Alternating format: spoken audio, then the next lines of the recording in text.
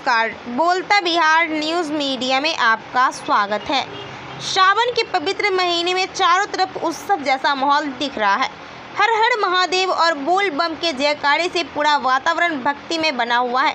इस महीने में देवों के देव महादेव और माता पार्वती की विधि विधान से पूजा अर्चना हर जगह हो रही है। इस माह में शिव उपासना के कई कठोर नियम हैं। सावन अधिवांश के मौके पर क्षेत्र के मंदिरों में रोज पूजा, अर्चना, भजन, कीर्तन एवं प्रवचन का दौर जारी है। इसी क्रम में बरौनी के सोखहाड़ा मंदिर पर यज्ञ अनुष्ठान एवं प्रवचन कार्यक्रम का आयोजन किया गया। इस दौरान जाने माने ज्योतिषाचार्य अविनाश शास्त्री ने मौके पर मौजूद श्रद्धालुओं को सावन माह में ईश्वर की कृपा प्राप्ति के लिए किए जाने वाले पूजन विधि के साथ साथ वर्जित कार्यों का विस्तार से विवरण सुनाया।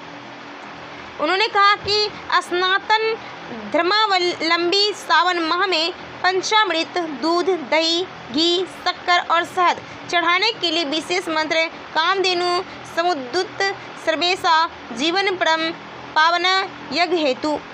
श्रय, प्रायः स्नाना गृहताम ओम शिवाय नमः। प्राय स्नान समर्पयामी। इसके बाद अन्य स्तोत्रम पूजा सामग्रियों का चढ़ावा करें। शिवलिंग के दक्षिण दिशा की ओर बैठकर, यानी उत्तर दिशा की ओर मुँह कर पूजा और अभिषेक शीघ्र फल देने वाला माना गया है।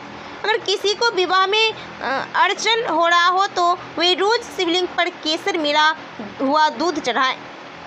धन प्राप्ति के लिए किसी नदी या तालाब जाकर रोज आटे की गोलियाँ, मछलियों को खिलाएँ।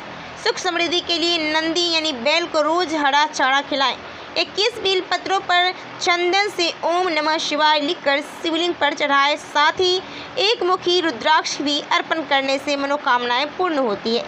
ज्योतिषाचार्य ने कहा कि बिलपत्र न तोड़े। चतुर्थी अष्टमी, नवमी, चतुर्दशी, अमावस्या, संक्रांति, सूर्य का राशि बदल दूसरी राशि में प्रवेश एवं सोमवार को नए बेलपत्रों का तोड़ना अर्जित किया गया है।